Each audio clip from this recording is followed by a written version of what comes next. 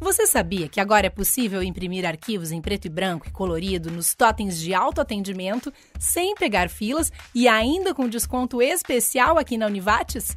Para retirar as suas impressões, você pode apenas aproximar a sua carteirinha da Univates em qualquer impressora do campus, fazer o seu login com usuário e senha ou ainda utilizar um QR Code e imprimir com o seu celular. Quanta facilidade, né? Ah, e tem ainda a loja física da Selbet no prédio 9 da Univates. Com a carteirinha, é só aproximá-la do leitor da impressora, selecionar o documento na tela, clicar para a impressão e retirar os seus arquivos. Com o login, você apenas precisa digitar o seu usuário e senha de aluno da Univates, que a mesma tela com os seus arquivos enviados aparecerá. Então, o mesmo procedimento. Você escolhe os documentos a imprimir e clica para a impressão. Com o QR Code é o mesmo procedimento, mas a tela aparecerá em seu celular para imprimir.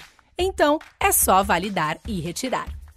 Apenas é importante que você fique atento ao modelo da impressora. Impressões coloridas precisam ser na máquina colorida e arquivos mais específicos, como folhas A3, também precisam respeitar as particularidades de cada impressora de autoatendimento. Arquivos ainda mais específicos, como frente e verso e até mais páginas por folhas, também podem ser retirados em loja física. Veja ainda os nossos vídeos passo a passo para enviar material e também para comprar créditos.